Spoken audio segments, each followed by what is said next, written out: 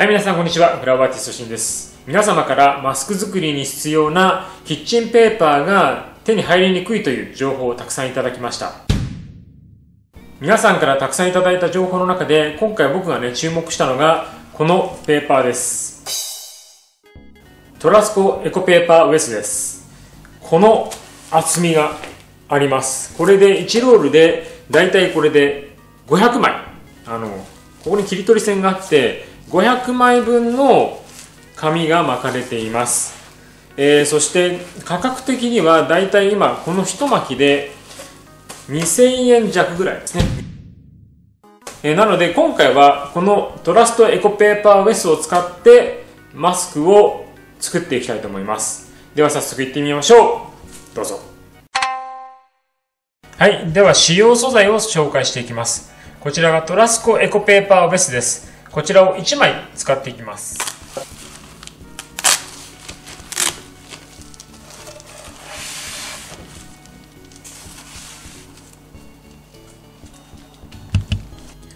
はい、こちらがクラフトペーパー体です。えーこちらはマスクの鼻の部分に入るワイヤーになります。えーこちらはですね、100円ショップのラッピングコーナーなどに置いてあります。はい、えーこちらが両面テープです。えーテープの太さは 10mm から 15mm くらいが望ましいです。はい、えーこちらがサージカルテープです。こちらは 12mm のものを使用します。はい、こちらがダクトテープというテープです。100円ショップのマスキングテープなどのコーナーに置いてあります。こちらは先ほどのサージカルテープがない場合、こちらで代用します。はい、こちらがストッキングです。100円ショップやコンビニエンスストアでも売ってます。はい、こちらがエアコンフィルターです。今回はこれを使う方法と使わない方法を両方紹介します。はい、こちらがハサミと物差しになります。はい、えーではね、最初にこのストッキングですね。これ、今足のところをカットしました。えーここを、だいたいね、2センチぐらいが良さそうでした。最初ね、この間の動画では1センチって言ったんですけど、2センチくらい、2センチくらいこのようにカットしますよ。いいですか？輪切りです。輪切りにカットします。まあ、耳ゴムになるので、ここを両方があるのに2つね、カットします。で、大体大人用の場合は、この上のももの方ですね。で、子供用の場合は、この下の足首の方を使うと良いと思います。はい。そしたらこれね、このストッキングって、これをピンピンピンピンってやると、このようにね、丸まるんですよ。ほら。いいですか？これをピンピンピンピンってこれやると、簡単にこう丸まるんですよ、これが。こうやって。えーこれをマスクのゴムとして使っていきます。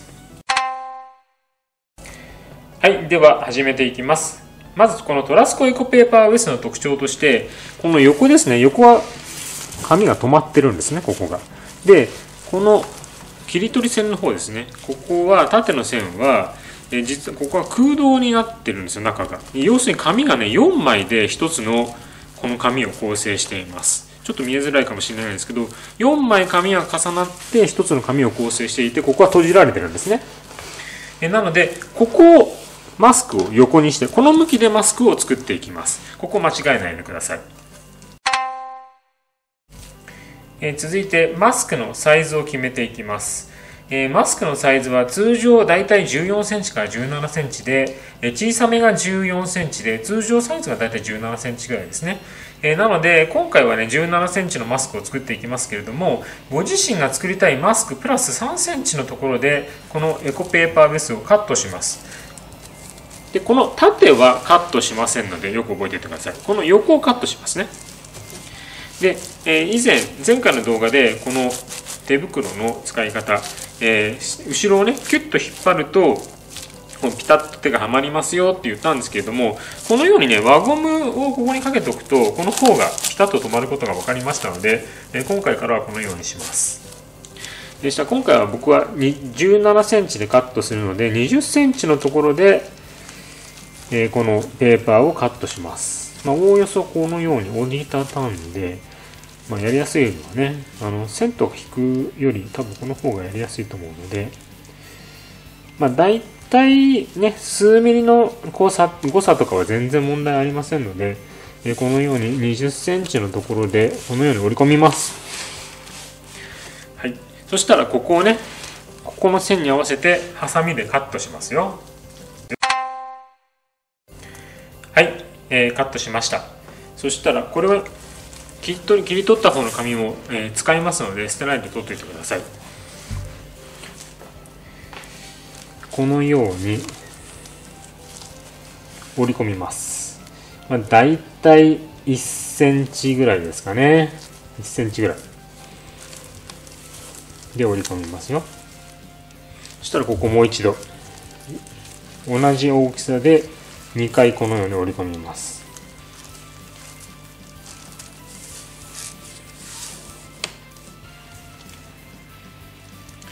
えー、そしたらここの角ですね。角を、まあ、大体1センチぐらいなんですけども、ほんとおおよそでいいです。ここをこういうようにカットします。ですから、こちら側もカットしますよ。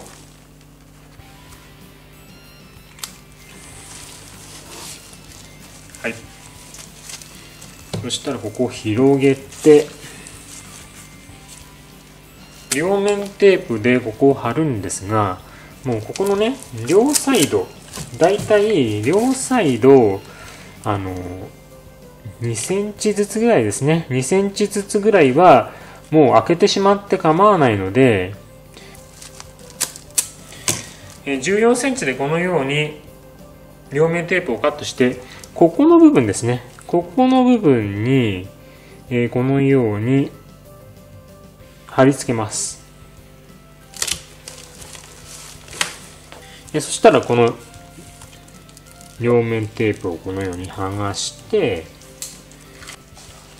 このクラフトペーパー体ですね。クラフトペーパー体をこのちょうど真ん中ですね。真ん中にまあこれね真ん中にちょうど来た方がいいんでちょっと測ってあげてまあ、10センチのとこですよね。そしたらこのクラフトペーパー体もこのように一回折るとね、真ん中がわかりますので、折り目をつけて、このように貼り付けます。ここの折り込んだ一番端っこのあたりがいいですね。このように両面テープに貼り付けますね。はい。そしたらこれを折ります。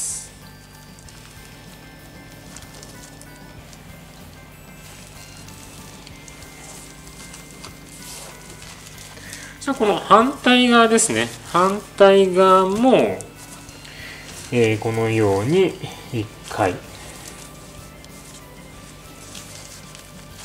まあ大体1センチぐらいですよ。もう大体でいいですよ。2回折ります。そしたら折ったら先ほどと同じようにこのカードをこのようにカットします。こちら側もカットしますよ。はいでそして開けて同じようにここをまあ、おおよそでいいですよ、全然。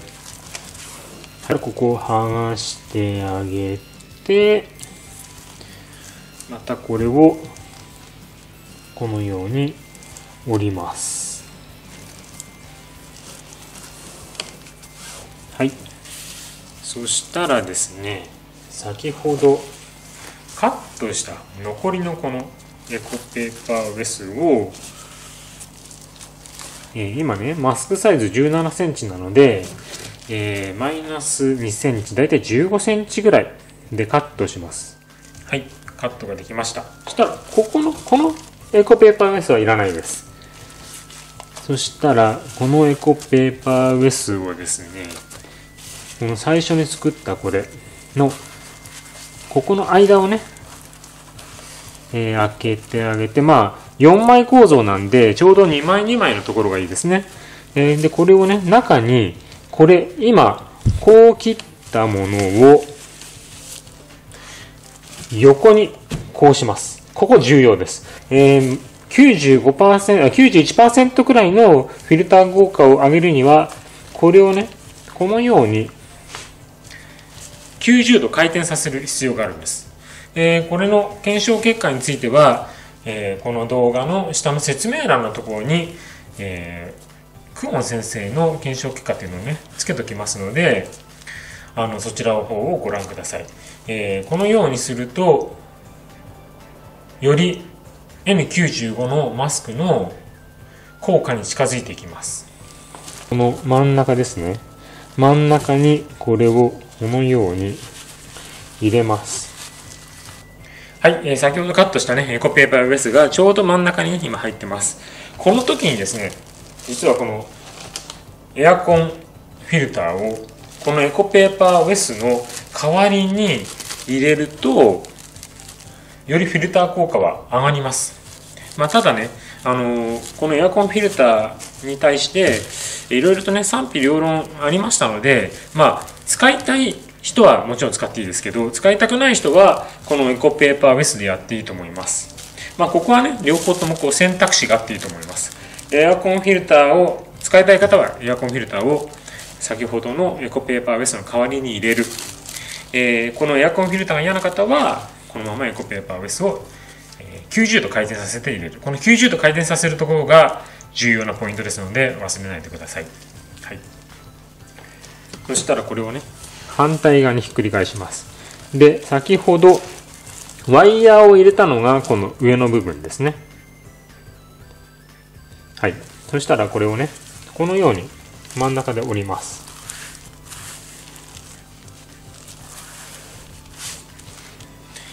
で広げます。広げたらここでこのように折り線に折り線に合わせてまたこのように両方から折ります。はい。いいですか？たらこれを広げます。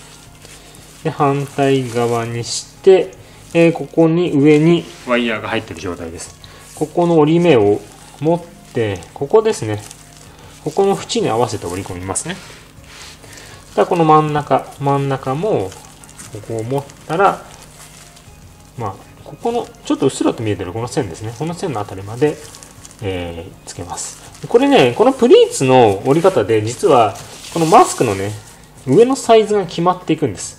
だいたいまあ通常9センチぐらいなんですよマスクって。なのでこの3番目のプリーツでまあこう入れ持ってあげてまあここの辺りでだいたい今9センチね。9センチでできるようになってます。ただ、このように折り込みました。はい。いいですか？ここをね、まあ、物差しとかでこう、置きましょう。一回仮止めにしておきましょう。置くだけで仮止めできますので。はい、そしたらこれからね、このダクトテープ、もしくはこのサージカルテープ、どっちかを使います。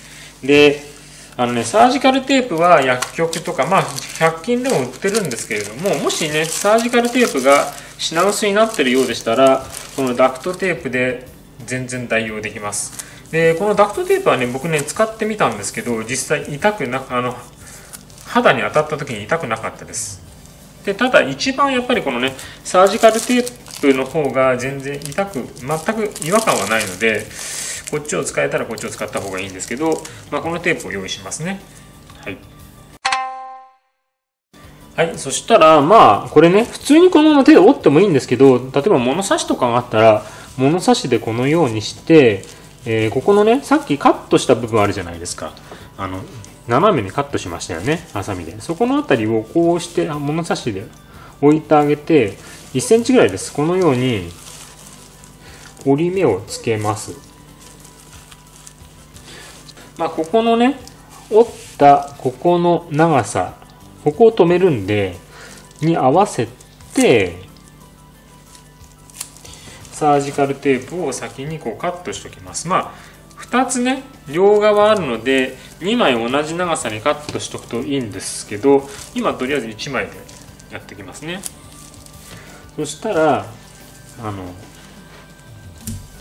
このね、耳ゴムさっきのストッキングで作った耳ゴムをこのようにここに入れてでこういう風に折り込みますね。折り込んだらここの部分をサージカルテープで貼ります。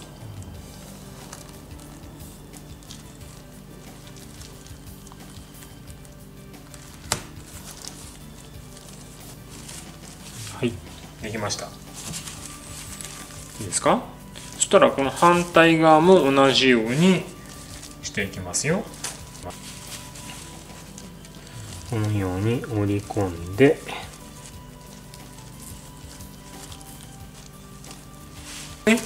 もうマスクの完成です。ちょっとつけてみましょう。はい、えー、こちらが完成したマスクです。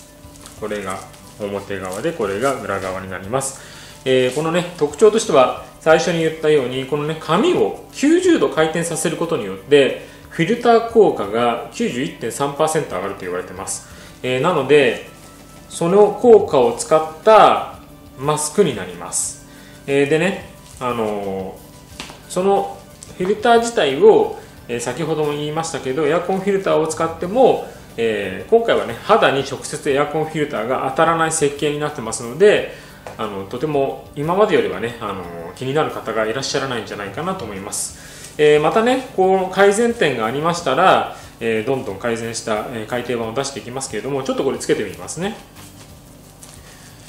こうプリーズなんでこう広げてあげてこうつけます。でやっぱりねこのストッキングのね耳ゴムはすんごいこう痛くなくて気持ちいいです。でここもビシッとみんなねここもこうやって押さえてあげるとビシッとします。なのでここワイヤーが入ってますよね。だからこういうふうに押さえてあげるともう全然ここ隙間なくねあのできます。なので結構これは効果が期待できると思いますよ。でね先ほど言ったエアコンフィルターを入れたタイプとこのトラストエコペーパーウェスを90度にして入れたタイプと両方作ってみたんですがこのエアコンフィルターを使って入れたタイプの方がなんかこうマスクの息苦しさというのはなかったです。なのでまあ感染をね防ぐという点では両方ともねこう効果は期待できますけれども息苦しさという点ではこのエアコンフィルターを入れた方が息苦しさはないと思いますが、まあ、これでねマスクの解消は少し防げると思います。またね皆さんから有力な情報をいただいて改訂版を作っていきたいと思いますのでこうした方がいいよっていうアイデアがありましたらどんどんコメントください。よろしくお願いします。はい、今回はねドラストエコペーパーウェスを使ったマスクの作り方でした。この動画がね、いいねと思った方はグッドボタンをよろしくお願いします。またね、どんどん改訂版を出していきますので、ぜひチャンネル登録をして改訂版をお待ちください。では、また次回お会いしましょう !See you next time! ありがとうございました。